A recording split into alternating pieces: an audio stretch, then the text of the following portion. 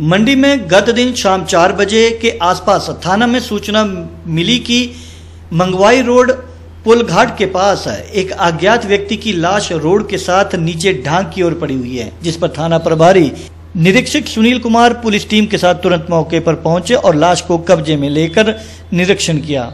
ये जानकारी एसपी गुरुदेव शर्मा ने दी। लाश पर कोई चोट का निशान नहीं है और मृतक की उम्र 45 से 50 के बीच है। साथ ही वे नेपाली मूल का है।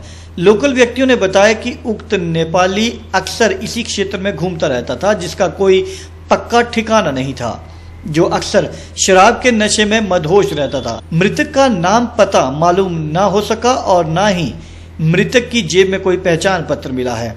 लाश दो या तीन दिन पुरानी है। लाश को पोस्टमार्टम डेड हाउस मंडी में रखा गया है, जिसके अनुसार बहत्तर घंटे तक शिनाफत के लिए रखा जाएगा।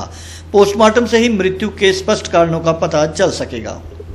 पुल घाट के पास पुलिस को एक डेड बॉडी मिली है, जिसकी अभी तक पहचान नहीं हो पाई है।